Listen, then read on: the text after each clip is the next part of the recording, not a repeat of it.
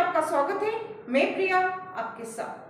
पश्चिम बंगाल के बीरभूम ज़िले में स्थित शांति निकेतन को यूनेस्को की वर्ल्ड हेरिटेज लिस्ट में शामिल किया गया है।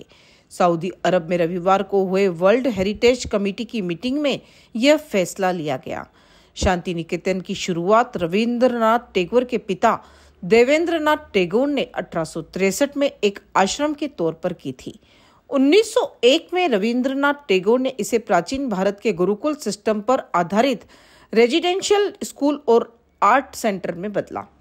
टैगोर ने 1921 में यहाँ विश्व भारती की स्थापना की, जिसे उन्नीस सौ इक्यावन में सेंट्रल यूनिवर्सिटी और राष्ट्रीय महत्व का संस्थान घोषित किया गया।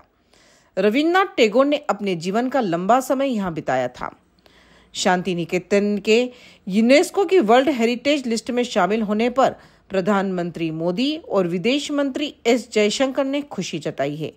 पीएम मोदी ने कहा, मुझे खुशी है कि भारत की समृद्ध सांस्कृतिक विरासत के प्रतीक शांति निकेतन को वर्ल्ड हेरिटेज लिस्ट में शामिल किया गया। यह सभी भारतीयों के लिए गर्व का पल है। वहीं एस जयशंकर ने कहा कि यह देश के पहले नोबल पुरस्कार विजेता रविंद्रनाथ टैगोर को सच्ची श्रद्धांजलि है। इसी के साथ बने रहिए। एशिया इंडिया के साथ धन्यवाद।